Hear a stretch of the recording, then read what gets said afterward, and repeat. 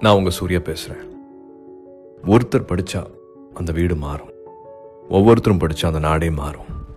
இந்த பொருளாதார நெருக்கடியில் நிறைய மாணவர்கள் தங்களோட கல்வியை பாதியில் கைவிட்டுறாங்க. நாம் நினச்சி அதை மாற்றிடலாம்